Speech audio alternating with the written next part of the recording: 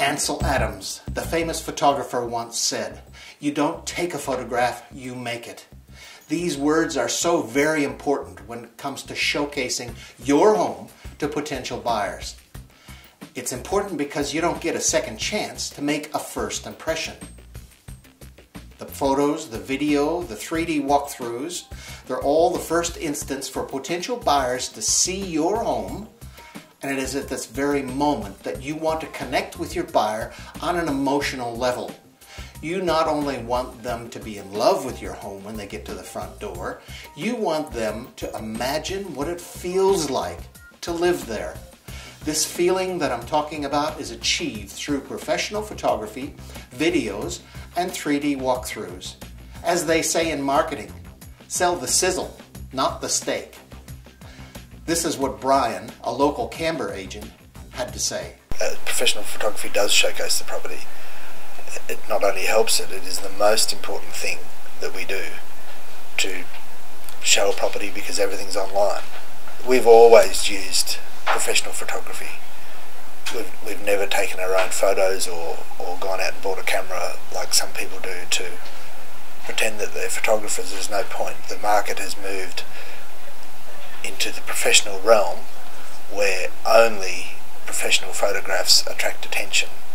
It's as simple as that. It's the difference professional photography makes to a, a vendor and, and an agent in marketing is the competitiveness of real estate in, in that houses are competing amongst each other for buyers.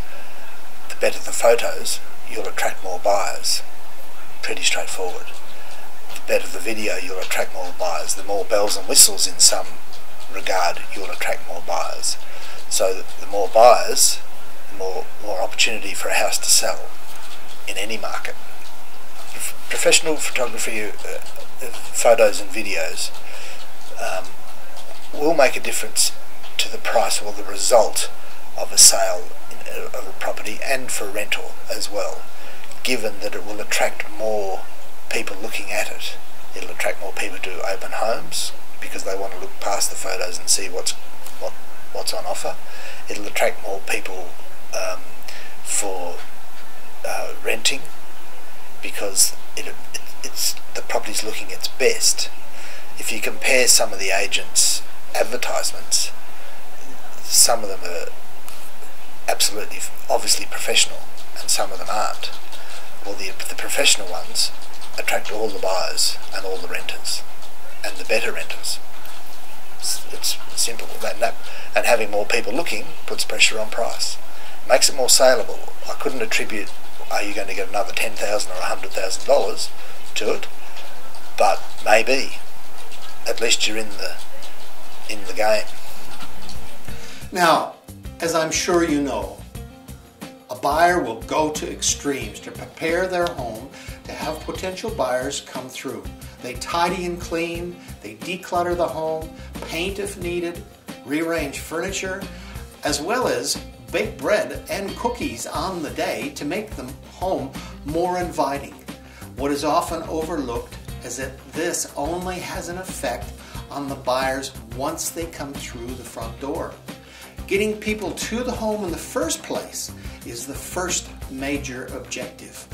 When buyers are cashed up and motivated for action, you want to make sure that you don't miss out on attracting their attention.